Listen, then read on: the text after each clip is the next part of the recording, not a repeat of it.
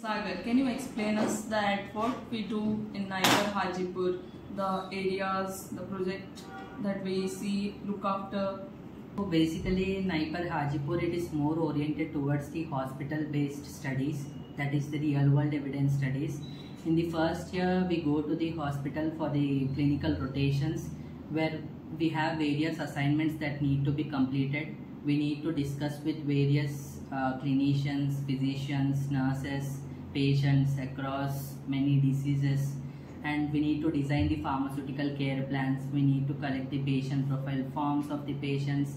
We get an idea of collecting the case reports of the patients. And i think you all know that NIPER hajipur is uh, an amc monitoring center for uh, pharmacovigilance as well as for materiovigilance. so we collect the adverse drug reactions that are being reported and we report it to the ipc then through the VigiFlow software.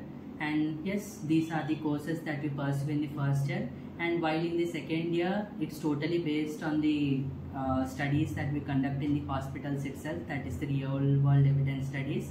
Simultaneously, if you want to learn anything about the economic studies and pharmacoeconomic studies, you can carry out those, but you cannot exclude the observational studies that are hospital based studies in NIPER Hajipur.